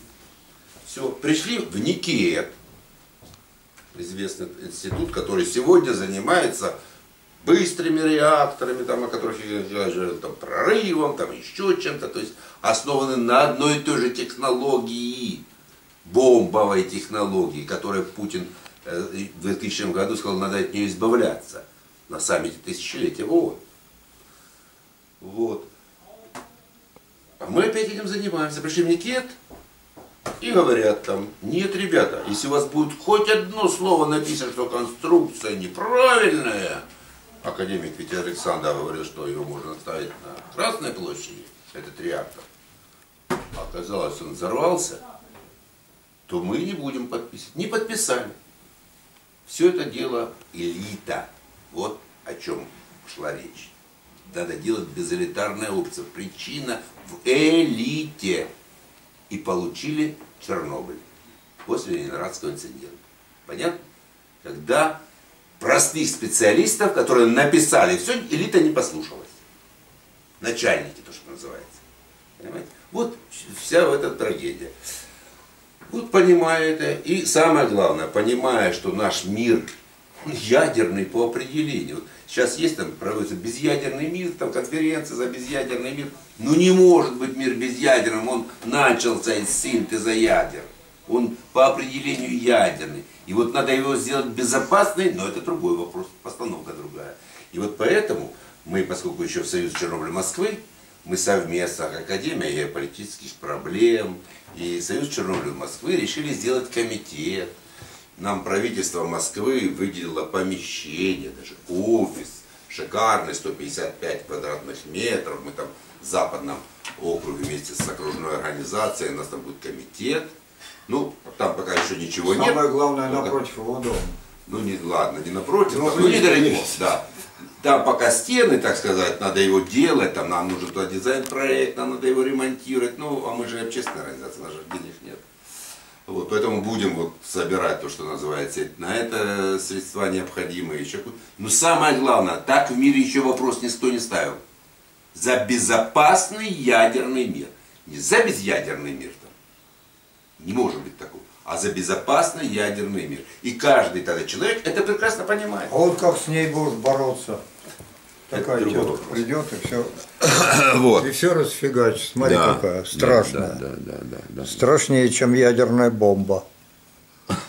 Ну, Если не будем отвлекаться. такую Эрик, тетку Не сделают. хулиганьте. Вот.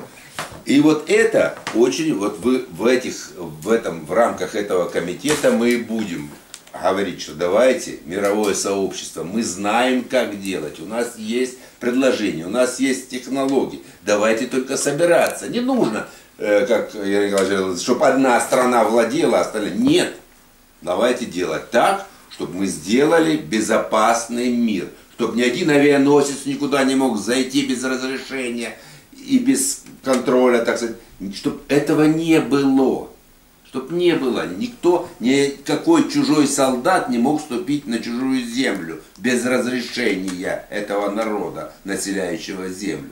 Вот о чем мы должны делать, потому что у нас ядерный мир должен быть безопасным.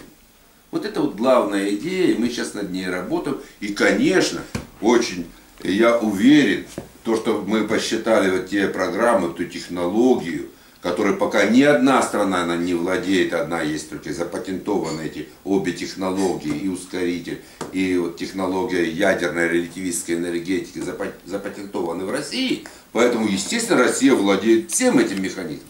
И мы приглашаем все сообщество, и бизнес, и все. Вот занимаются все. Билл Гейтсом занимается ядерной энергетикой, ну не то немножко, не то.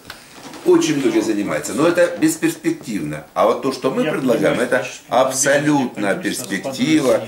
И очень большие потом идут прибыли тех, кто будет заниматься. Абсолютно.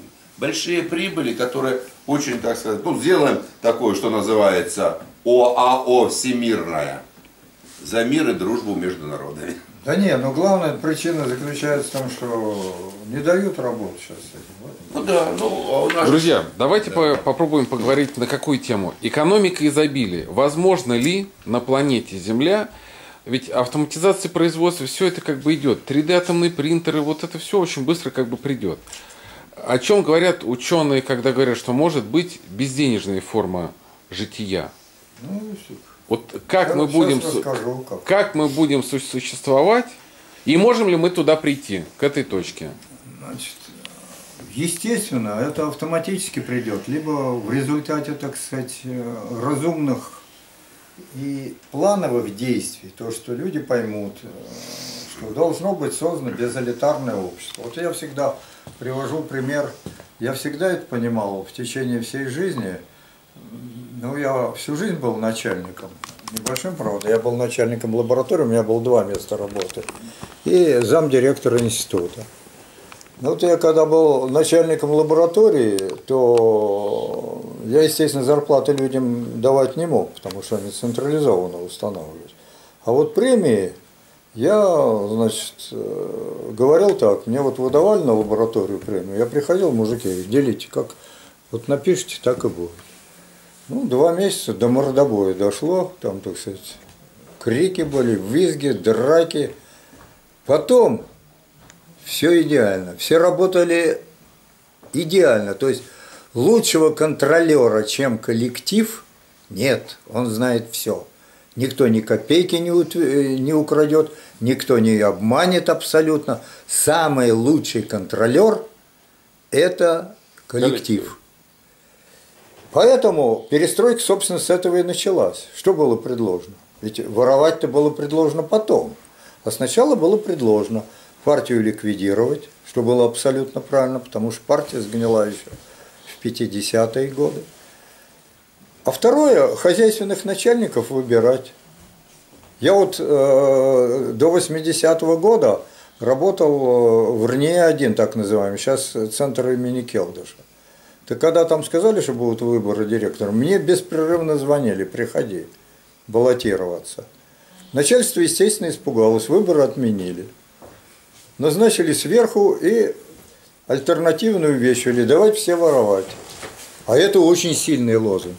Поэтому вот мы в течение этого времени переживаем сейчас очень тяжелую, э, так сказать, ситуацию с провалом страны именно в силу того, что работает тезис «давайте воровать все». А не была сделана, как в этой книжке показано, адекватная социальная организация, когда свободна не толпа, а коллектив, который работает над конкретной проблемой, потому что в каждой конкретной проблеме член коллектива компетентен. Свою И там он ошибок не делает. Поэтому коллектив всегда принимает правильные, разумные решения. И это, собственно, есть гарантия того, что это будет нормально. Теперь можно ли это общество обеспечить? То есть адекватное общество – это общество, в котором су- отсутствуют элиты, которые, в которой человек индивидуально свободен, а в общественном решении их жизни он руководствуется разумом коллектива, в конце концов разумом воли Отца. То есть доминирующей идеологией единственной должна быть христианская идеология. Причем именно по, ведь не случайно э, в Евангелии э, человек назван рабом Божьим. Почему? Потому что раб Божий – это человек, который полностью на 100% руководствуется законом Божьим и больше ничем. Только законами мироздания. Поэтому он раб Если Божий. есть либо рабство Бога, либо рабство греху. Да, то есть э, больше ни, ничем он рабом не является. Вот я услышал очень правильную вещь, был ринг Соловьева, там отец Михаил выступал с одной стороны, он сказал, что в правильном обществе, я в это в книжку немедленно внес, в следующее издание, значит, он сказал, что в правильном обществе у человека не должно быть ни прав, ни обязанностей, потому что наличие э, прав и обязанностей, вернее, право как там это, гарантирует право и свободы, что ли, я все время забываю. Что нам Конституция гарантирует? Права и свободы? Не должно быть ни того, ни другого, потому что человек, он является рабом Божьим в силу того, что он руководствуется совершенно строгим законом. И у него поэтому есть в нормальном обществе только обязанность. Вот как в монастырях. Там же никаких нет прав, там есть только обязанности у каждого члена. Также в нормальном обществе никаких прав у человека быть не должно. Должны быть только обязанности. Теперь обеспечение. Значит, до примерно 70-х, 80-х годов мы сможем обеспечить полностью человечество за счет вот этих ядерно-релятивистских технологий. Если их начать завтра развивать, перестать валять дурака. Сегодня нам наша власть запрещает этим делом заниматься. Вот хоть удавись, не можем мы это продавить. Пока что, потому что просто деньги за бугром лежат. А американцы не велят эту технологию здесь развивать. Хотя сегодня уже все понимают абсолютно, что эта технология нужна. Значит, а э, если эту технологию сделать, то энергетически мы будем обеспечены полностью. Но, с другой стороны, значит, э, примерно 70-х, э, 80-х годов этого века надо уже будет все промышленные технологии э, и энергетические переносить за пределы Земли. На Земле люди должны только жить. И более того, и, и инструменты для этого дела, опять же, находятся только в России – так называемые ядерные двигатели. У меня остается 20 минут. Ага. Э, я сейчас быстро завершу. Сейчас я очень, так сказать, фундаментальную вещь еще скажу. Чуть дополнение по ведению. Ага. Вот э, в эти 20 минут включите, пожалуйста, представьте, что у вас смотрят первые главы государств, лидеры религиозных конфессий. Вот все, кто принимают, они смотрят, потому что ваши... Э, я понял, сейчас я скажу. Тысячи будут просмотров вашего интервью вот этого. Поэтому 20 минут, и мы прям с наслаждением вас слушаем. Значит, но дело заключается в том, что Земля все равно не может включить, э, разместить бесконечное количество людей. К концу этого века предполагается, что будет жить примерно 12 миллиардов человек, а дальше еще больше. Есть ли выход? Потому что, в принципе, если представить себе, что развитие идет все по той же схеме нарастания массива, то через 5000 лет масса, биологическая масса людей будет просто равна массе Земли, что, очевидно, невозможно. И тут вот наступает третий этап после космического. Это этап, когда человек, человечество, вернее, приобретает потенциал Бога Отца, понимает, как устроен этот мир – и начинает так же, как Бог Отец построил это мироздание, начинает строить еще одни мироздания по своим проектам, причем любые, которые удовлетворяют любые потребности, причем их может быть сколько угодно. Вот в течение 20-21 века люди должны познать фундаментальные законы мироздания, которые уже технологических преимуществ не дадут. Вот теория струн сегодня, которая изучается, она в технологии не даст ничего, но она может нам дать законы, как строить эти миры. И вот это мы должны понять. И наши власти, и наша церковь в первую очередь должны вот этому вот обстоятельству уделять самое пристальное внимание – После того, как человечество будет устроено адекватным образом и получит материальные основы для своей жизни, надо будет бросить огромные ресурсы для того, чтобы познать замысел, замысел создателя этого мира, достичь его потенциала и начать действовать по тем же схемам. То есть и ученые, и богословы православные говорят об одном. Об одном обожении, абсолютно. Да. О теологии, о том, что Бог стал человеком, значит, чтобы человек стал Богом. И вот я думаю, что вот на этой... Не человек, а человечество. Потому что каждый человек Богом стать не может. Человечество в Человечество. целом. Человек Просто может стать богословие- только подобным. Подобным. Несколько, несколько сложнее это рассматривает, но единство человечества да, достигается в общении Богом и друг с другом в таинствах церкви, нетвор- нетворных божественных энергий. И вот я думаю, что вот такой э, заинтересованный фундаментальный разговор с Божьей помощью получится 12 апреля. Ну, Вот дай Бог. Это потому очень важно. Вот я не знаю. Вот это надо людям бить, Да. потому что времени-то ведь чем меньше, Вбить чем невозможно. быстрее мы эти- это сделаем, тем меньше люди, людей погибнет, Крови и, соответственно, тем будет. больше будет потенциал, массив, тем быстрее будет продвижение. Будем надеяться, что... А чем дурее мы будем себя вести, тем больше народу погибнет. Значит, я вот э, что вот заметил за всю свою жизнь, сейчас, кстати, тоже в многих э, э, коллективах и в многих, так сказать, в любом коллективе, в самом большом, в самых крутых фирмах, у меня есть знакомые, где я интересовался, вот у вас есть коллектив? Есть. Сколько там адекватных людей, вот те, на которые основа является коллективом? 8-10%. Вообще-то. 8-10%. Но тем не менее, каждый, так сказать, свою функцию несет. Поэтому мы должны этот процент увеличивать. Обязательно увеличивать. Но здесь Конечно, тоже очень главное- интересно. Православный приход, община, это, это как бы пример э, здорового коллектива. Вот мы Совершенно вчера- конечно, Вчера конечно, мы были да. в храме Святой Троицы Ну, в я вам Черемушках. приведу, да. И вот там настоятель, Я, я вам приведу, так сказать, свои собственные примеры. вот настоятель там собирает, не знаю, верующий, неверующий, он собирает весь микрорайон вокруг церкви, например, чествовать э, супружеские пары, которые в браке прожили 25 или 50 лет. И собирается весь район, делается сцена у храма. И это вот то, что сказать, э, э, коллективизм или по-нашему соборность проявляется вот в жизни от- отдельного конкретного района Москвы. И весь народ приходит. Даже коммерсанты приезжают и всех бесплатно кормят мороженым.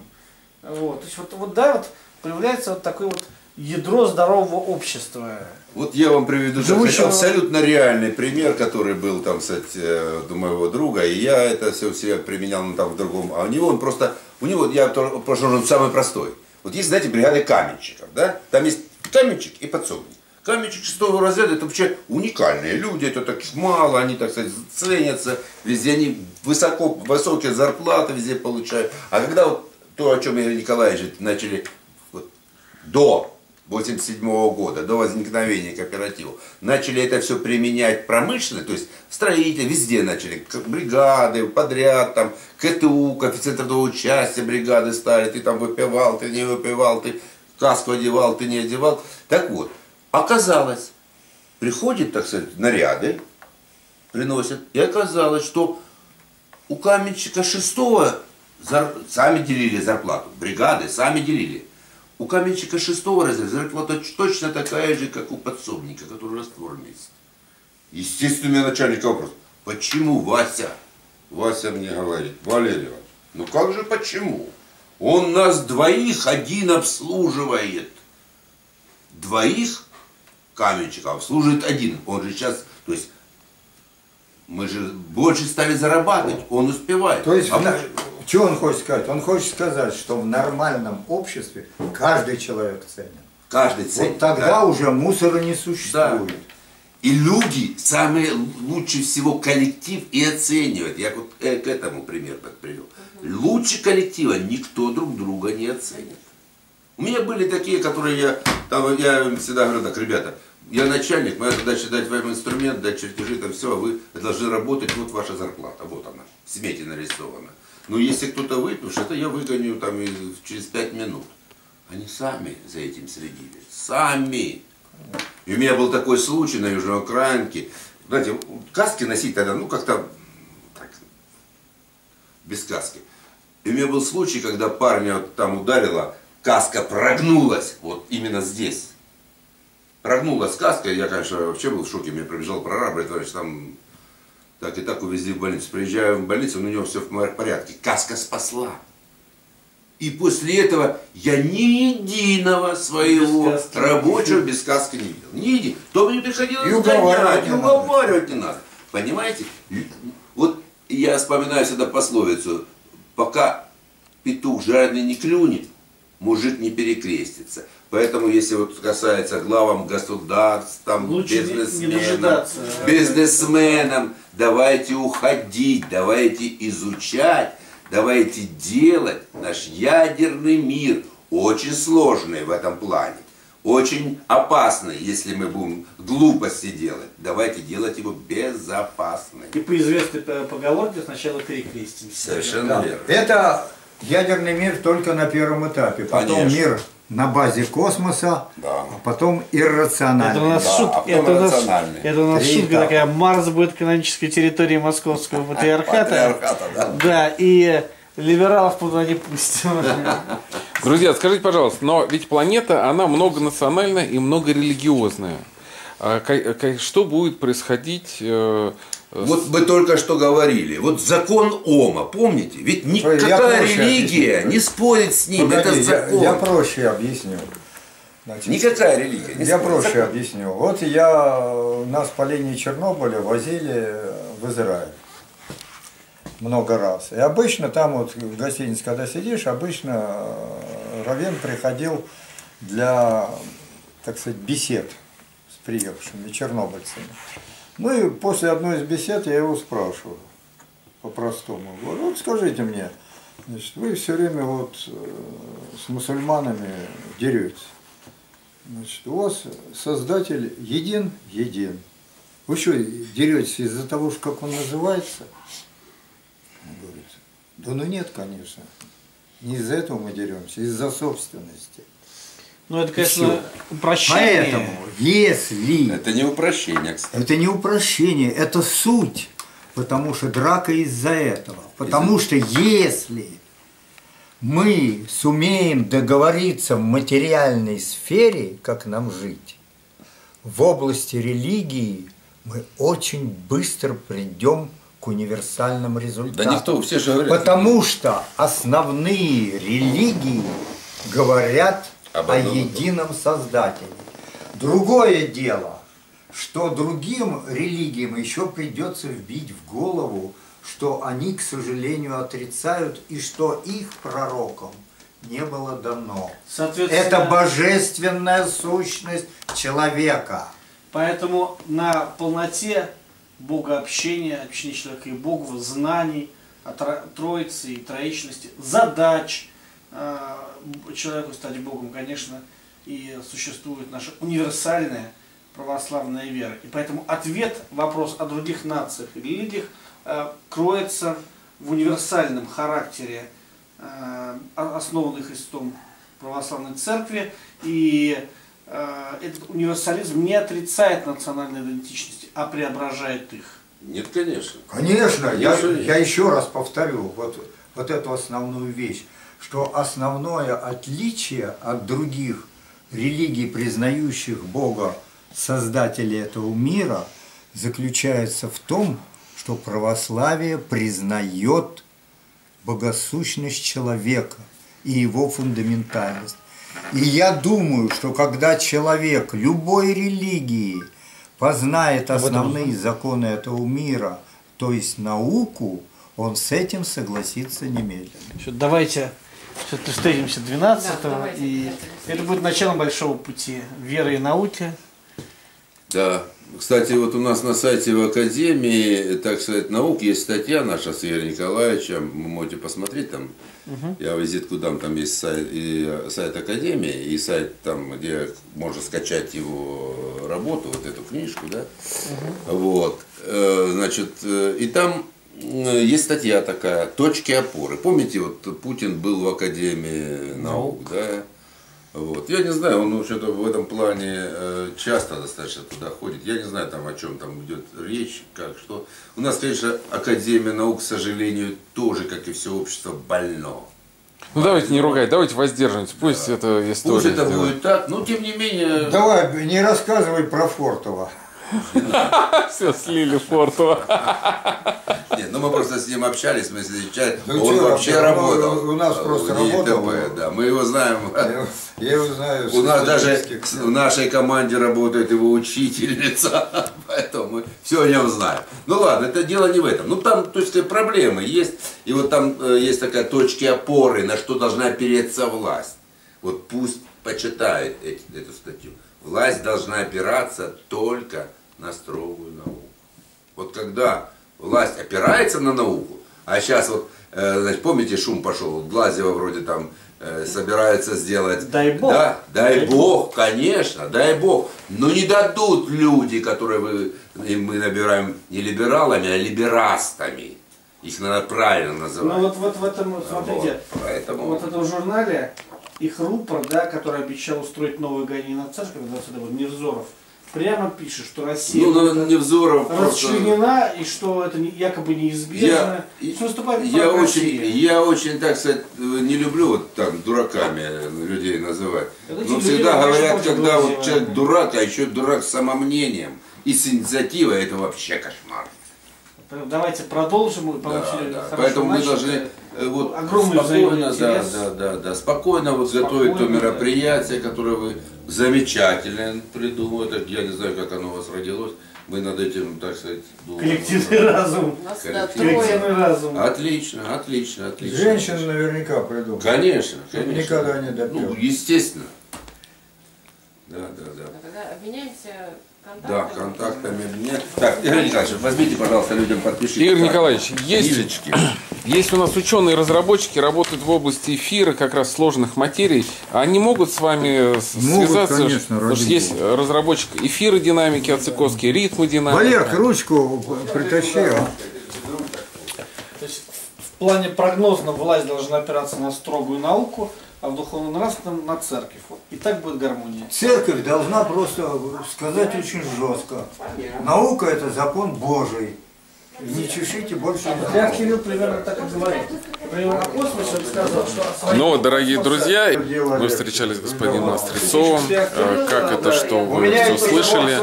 А Наша задача, чтобы вы э, слушали, смотрели, думали, принимали Логика решения. простая. Раз мир создан разумом, Мы ничего не навязываем. значит законы этого мира и есть закон Божий. Сумочку. Просто как паровоз. А. Ох, я визитку забыл. Сейчас дам. Визитки вам.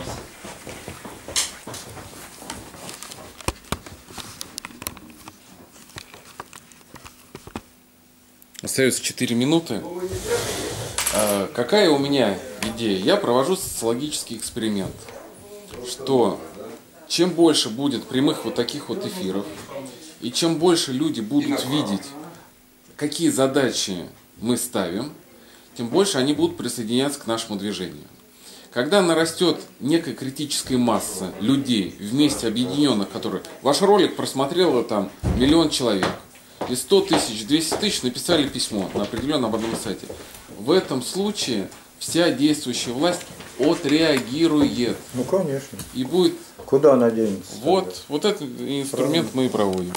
Все, дорогие друзья, на этом пока стоп снято. Глобальная волна. Готовимся к 12 апреля, День космонавтики. Мультимедийное онлайн заседание конференция. Русский прорыв. Русский прорыв. Мария, наша ведущая, соведущая. Как называется? Русский прорыв. Русский, Русский прорыв. прорыв. О, а как вы, почему вы решили, что вдруг вот русский прорыв? А- Вы угадали, почему? Вы же, наверное, что-то знали.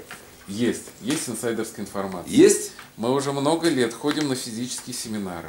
Так. И я записал на видео очень много людей, которые говорят, мы утверждаем, что Россия лидировала, лидирует И будет и лидировать. будет лидировать.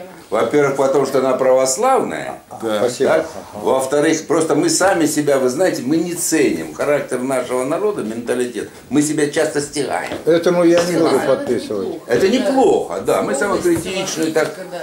Мы самокритичны, мы там. Ва- ну, ваше- так, У меня нет а как? Да, да. Ярослав, А, Ярослав они Старухин. Они мгновенные, это да, они очень мгновенные. У меня Самое страшное, конечно, вот это, я э, не знаю, это не для, не для эфира, не для пить, не для этого. Я вот э, лет 7 или 8, вот мой помнит, предложил, так вот, фамилия? когда мы, Старухин, Старухин. да. когда мы анализировали все это, все, я предложил, вот нам бы вот так вот взять Скоро бы уже пример с отучишься евре- писать. со всемирного еврейского Ну да, я уже Взять ручку не- такой пример. неудобно Они просто. Вы не читали их устав? Всемирный еврейский конгресс не читали устав? Нет, да? Почитайте. Я прочитал, когда этот устав, это такой жесткий устав Всемирного еврейского конгресса. Так, устав КПСС, который я тоже хорошо знаю, он даже никуда не годится. Там такой жесткий требование. Теперь нам надо экспертов. создать всемирный, нееврейский, в скобочках, гойский конгресс. Мирный русский народ. Так, как, как вам по- Ну, подписать? можно конечно. православных Ну, это, А, ну, я вам- это вопрос. А когда гойский сделаем? Ну что за... А взял, взял за основу Всемирный еврейский У конгресс. меня Устав такая была Всемирного идея еврейского взять конгресса. э, Ветхий Завет и вместо Ветхий Завет Христос закрыл. Нет, Ветхий Завет Христос закрыл Ветхий Завет. Он его просто закрыл. Да. Нет, э, Хотя, э, там бы он подводил к новому, да? Да, он Потом просто, дальше, да. э, дальше, Ну, но дальше это, это как любая наука значит, развивается. точная формулировка такая. Вот вы, Кто, я что за портрет? э, Это основатель, Сейчас вот основатель эту- Академии сейчас- генерала Полия. Сейчас вот эту книжку, Основатель Академии, да. Фамилия? Полий, э, я сейчас имя отчество не помню, мы молодые члены Академии с Игорем Николаевичем, поэтому. Так вот, с Ветхим Заветом ситуация. Значит, потому и было два пророка основных, Моисей и